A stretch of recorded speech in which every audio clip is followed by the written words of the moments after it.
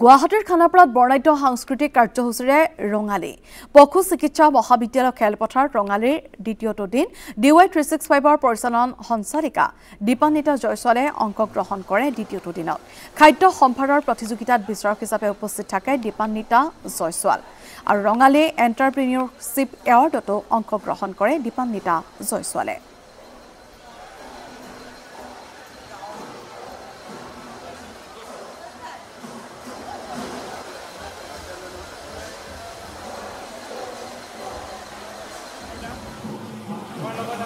মিতালী কলিতা বাইদেউ আমাৰ ৰঙালী আয়োজক ৰঙালী বঁটা দিয়াৰ ব্যৱস্থা কৰা হৈছে। কেইজনমান খেতিয়কক বঁটা দিয়া হ'ব।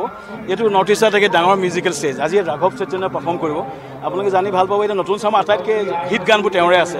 তেওঁৰ আগত এতিয়া অসমীয়া ৰাহুল ৰাজখোৱাই পাৰফৰ্ম কৰি আছে বনশ্ৰী শইকীয়াই কৰি আছে। প্ৰবীণ বৰাই ক'ব ফেশ্বন শ্ব' হ'ব। চ' উদ্দেশ্যটো হৈছে ডাঙৰ মিউজিচিয়ানজন আনি তাৰ আগত অসমীয়া মানুহক পাৰফৰ্ম কৰা হৈছে। তাৰ লগতে আজি আমি এটা মটক মৰাণ যিটো আমাৰ উজনি অসমৰ বেছিভাগ জনগোষ্ঠী আহিছে। শিৱসাগৰৰ পৰা আহিছে চাহ জনগোষ্ঠী। মটকসকল মৰাণসকল চুতীয়াসকল নামনি আহিছে কোচ ৰাজবংশী বড়োসকল। গোটেই অসমৰ বিভিন্ন প্ৰান্তৰ পৰা প্ৰায় এক হাজাৰ ফ'ক আৰ্টিষ্ট আহিছে। আৰু নিজে আহিছে দেই। এতিয়া মানে মই বোলে মই থকাটো দিছোঁ। মানে এটাই ক'ব খোজোঁ অনুষ্ঠানটো এতিয়া জাতীয় জাগৰণ হৈছে। যে আছু প্ৰেচিডেণ্টো আহিব। চাহ জনগোষ্ঠী ছাত্ৰ সন্থাই কৈছে তেওঁলোকে টীম লৈ আহিছে। চ' মই এইটোৱে ক'ব খুজিছোঁ ৰঙালীটোত জাতি জনগোষ্ঠী আহিছে। এইপিনে হিপ হপ ষ্টেজ হৈ আছে কাৰণ নতুন মানুহক আকৰ্ষণ কৰাৰ উদ্দেশ্য। চ' এইপিনে বৰগীতো হৈ আছে। চ' এইটোৱে উদ্দেশ্য ডেকা চামক আমি বৰগীত দেখুৱাব খুজিছোঁ আৰু টুৰিষ্ট আহিছে। টুৰিষ্টক আমি কি দেখুৱাইছোঁ? জুদিমা দেখুৱাইছোঁ। প্ৰায় প্ৰায় চ পঁচিছগৰাকী কণ্টেষ্টেণ্ট মোৰ ভাল লাগিছে বিশেষকৈ কম্পিটিশ্যনত সকলো সম্প্ৰদায়ৰ কণ্টেষ্টেণ্টে জইন কৰিছে। বিশেষকৈ নেপালী তেওঁলোকৰ কিছুমান ৰিচুৱেলত ব্যৱহাৰ কৰা ৰেচিপি ব্যৱহাৰ কৰিছে ভাল লাগিছে।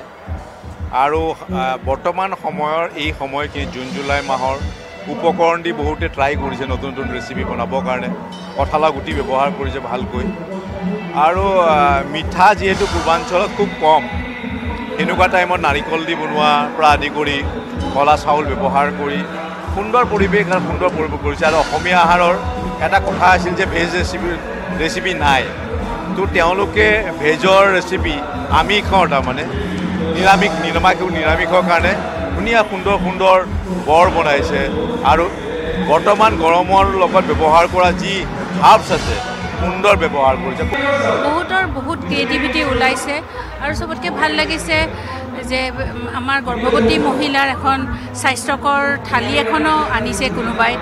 তাৰপিছত বহুত মেডিচিনেল হাৰ্বেদি বস্তু আমাৰ যেতিয়া অসমখন আগলৈ এনেকৈ হৈ থাকিলে ভাল হ'ব আৰু অসমীয়া ফুডক আমি এনেকৈয়ে লৈ যাব লাগিব বাহিৰত।